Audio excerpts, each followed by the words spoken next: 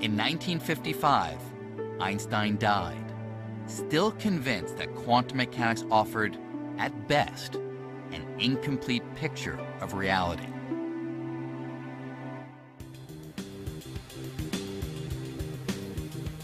In 1967, at Columbia University, Einstein's mission to challenge quantum mechanics was taken up by an unlikely recruit. John Clauser was on the verge of earning a PhD in astrophysics. The only thing standing in his way was his grade in quantum mechanics. When I was still a graduate student, try as I might, I could not understand quantum mechanics.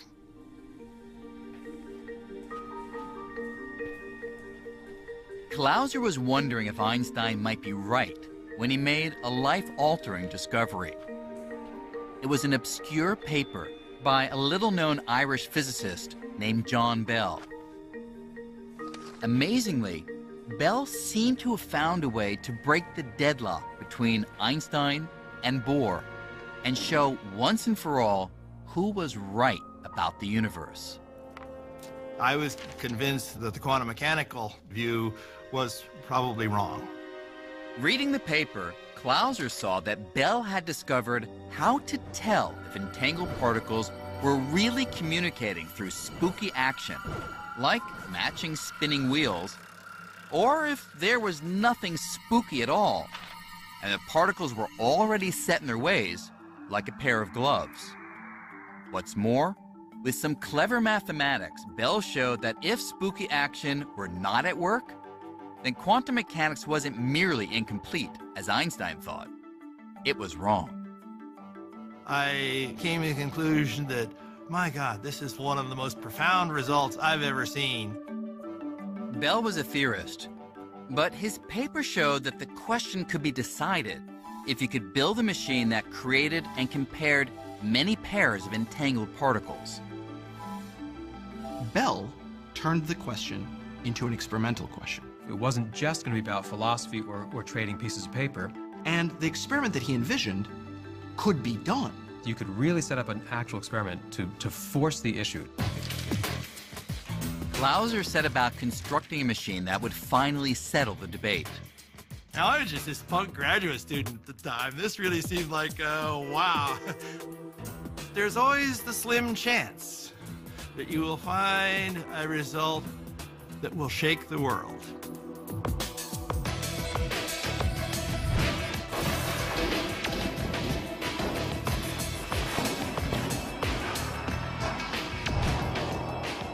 Clauser's machine could measure thousands of pairs of entangled particles and compare them in many different directions.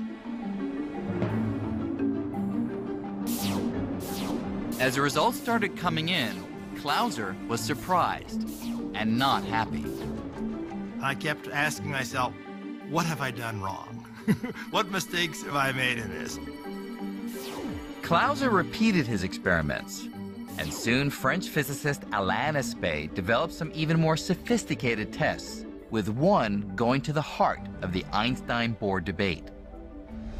In Aspect's test, the only way that measuring one of the particles could directly influence the other would be for a signal to travel between them faster than the speed of light, something Einstein himself had shown impossible.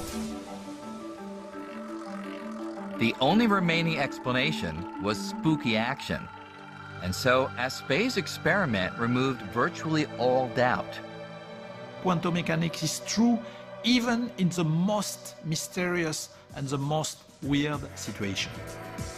The results of these experiments are truly shocking. They prove that the math of quantum mechanics is right. Entanglement is real. Quantum particles can be linked across space. Measuring one thing can in fact instantly affect its distant partner as if the space between them didn't even exist. The one thing that Einstein thought was impossible, spooky action at a distance, actually happens.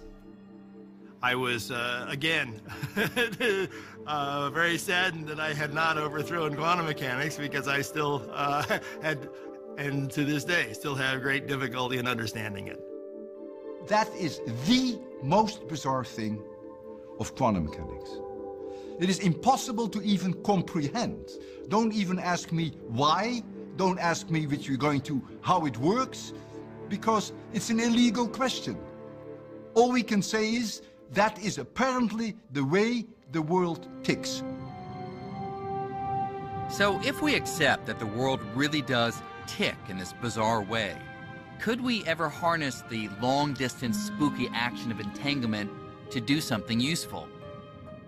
Well, one dream has been to somehow transport people and things from one place to another without crossing the space in between. In other words, teleportation. Lead me aboard. Energize. Energize. Star Trek has always made beaming or teleporting look pretty convenient. It seems like pure science fiction, but could entanglement make it possible? Remarkably, tests are already underway here on the Canary Islands off the coast of Africa. We do the experiments here on the Canary Islands because you have uh, two observatories and after all it's a nice environment. Anton Zeilinger is a long way from teleporting himself or any other human. But he is trying to use quantum entanglement to teleport tiny individual particles. In this case, photons, particles of light. He starts by generating a pair of entangled photons in a lab on the island of La Palma. One entangled photon stays on La Palma, while the other is sent by laser-guided telescope to the island of Tenerife, 89 miles away. Next, Zeilinger will bring in a third photon, the one he wants to teleport, and have it interact with the entangled photon on La Palma. The team will study the interaction, comparing the quantum states of the two particles. And here's the amazing part. Because of spooky action, the team will be able to use that comparison to transform the entangled photon on the distant island into an identical copy of that third photon. It will be as if the third photon teleported across the sea without traversing the space between the islands. Sort of extract the information carried by the original and make a new original there. Using this technique in other locations, Zeilinger has successfully teleported dozens of particles. But could this go even further? Since we're made of particles, could this process make human teleportation possible one day?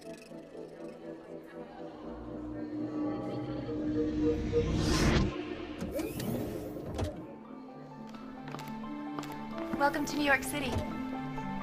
Let's say I want to get to Paris for a quick lunch. Well, in theory, entanglement might someday make that possible. Here's what I'd need. A chamber of particles here in New York that's entangled with another chamber of particles in Paris. Right this way, Mr. Greene. I would step into a pod that acts sort of like a scanner or a fax machine. While the device scans the huge number of particles in my body, more particles than there are stars in the observable universe, it's jointly scanning the particles in the other chamber, and it creates a list that compares the quantum state of the two sets of particles. And here's where entanglement comes in. Because of spooky action at a distance, that list also reveals how the original state of my particles is related to the state of the particles in Paris. Next, the operator sends that list to Paris. There, they use the data to reconstruct the exact quantum state of every single one of my particles. And a new me materializes. It's not that the particles traveled from New York to Paris. It's that entanglement allows my quantum state to be extracted in New York and reconstituted in Paris, down to the last particle.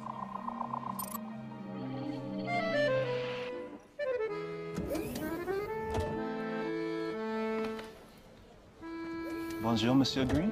Hi there. So here I am in Paris, an exact replica of myself. And I'd better be, because measuring the quantum state of all my particles in New York has destroyed the original me.